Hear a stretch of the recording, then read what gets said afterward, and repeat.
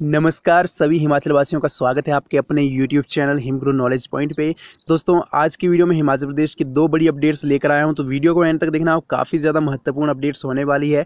और अभी तक आपने हमारा चैनल सब्सक्राइब नहीं किया है तो अभी सब्सक्राइब भी ज़रूर कर दे। दोस्तों प्राइवेट स्कूलों में फ़ीस को लेकर अभिभावकों में काफ़ी ज़्यादा असमंजस बनी हुई थी कि फ़ीस माफ़ की जाएगी या नहीं तो सरकार ने इसके लिए बड़ा प्रस्ताव तैयार कर दिया है। और दोस्तों, इसके लिए जो नोटिफिकेशन ऑफिशियल नोटिफिकेशन है, वो दो दो तीन दिन में आ जाएगी। इस पर अंतिम फैसला जो होगा, वो सरकार द्वारा लिए जाएगा शिक्षा विभाग ने प्रस्ताव फ़िलहाल के लिए तैयार। कर दिया है। और मैं आपको बता दूँ कि इस प्रस्ताव में क्या कुछ रखा गया है। दोस्तों, अब निजी स्कूल जो हैं, वो सिर्फ़ जो ट्यूशन फ़ीस है और एनुअल चार्जेस ले सकते हैं। पर दोस्तों, पहले क्या होता था कि पहले जो सरकार ने प्रस्ताव किया था, उसमें सरकार ने कहा था कि निजी स्कूल केवल ट्यूशन फ़ीस ले सकते हैं, बट निजी स्कूल के दबाव में आकर सरकार ने अब प्रस्ताव को बदल दिया है। और प्रस्ताव में बदलाव ये किया गया है कि निजी स्कूल अब ट्यूशन फ़ीस के साथ साथ एनुअल चार्जेस भी ले सकते हैं। एनुअल चार्जेस में बहुत सारे चार्जेस रहते हैं, दोस्तों, वो स्कूल पर डिपेंड करता है कि एनुअल चार्जेस किस तरह सेट किए गए हैं। बाकी दोस्तों ट्यूशन फ़ीस भी आ, किस तरह से ली जाएगी आ, कितनी ली जाती है वो भी स्कूल पे डिपेंड करता है।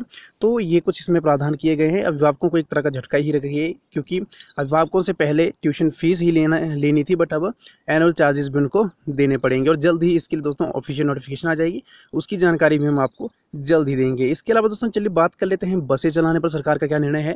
तो दोस्तों पहले सरकार ने जो प्रस्ताव तैयार किया था उसमें सरकार ने पचास प्रतिशत की तर्ज पर जो है बसें चलाने का फैसला किया था। ठीक है, करने वाली थी कि पचास प्रतिशत बसें ही जो है हिमाचल प्रदेश में चलाई जाएगी। परंतु सरकार ने अब अपने प्रस्ताव में बदलाव किया है और अब सरकार ने कहा है कि पचास प्रतिशत की जगह सभी बसें जो है हिमाचल प्रदेश में चलाई जाएगी, चाहे वो प्राइवेट बसें होंगी, चाहे वो एचआरटीसी की बसें होंगी।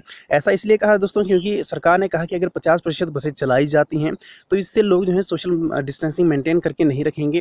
भीड़ काफ़ी ज़्यादा हो जाएगी बसों में। इसीलिए दोस्तों उन्होंने कहा है कि सभी बसें चलाएँगे तो भीड़ भी काफ़ी कम होगी और इससे सोशल डिस्टेंसिंग भी मेंटेन होगी। तो दोस्तों चालीस सीटर बस में जो है तो बीस ही सवारी बिठा सकेंगे और इसके साथ ही किराया जो है वो भी बढ़ा दिया जाएगा। ठीक है दोस्तों, किराया बढ़ा दिया जाएगा तो इससे क्या होगा कि बीस सवारियों से भी जो है किराया काफ़ी ज़्यादा मिल जाएगा और बस ऑपरेटर्स को इससे भी कोई नुकसान नहीं होगा, ऐसा कहना है सरकार द्वारा। तो इसके लिए भी प्रस्ताव तैयार कर दिया गया है और इस पर भी मोहर जल्द ही लग जाएगी, ऐसा कहना है सरकार द्वारा।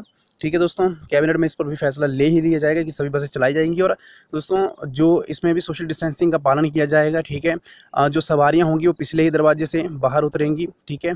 ऐसा नहीं है कि आगे से पीछे से उतरेंगी, ऐसा नहीं है। पीछे ही दरवाजे से ही उतरेंगी, रूल कुछ बनाए जाएँगे, नियम कुछ बनाए जाएँगे, वो जो कुछ रहेंगे हम आपको ज़रूर बताएँगे।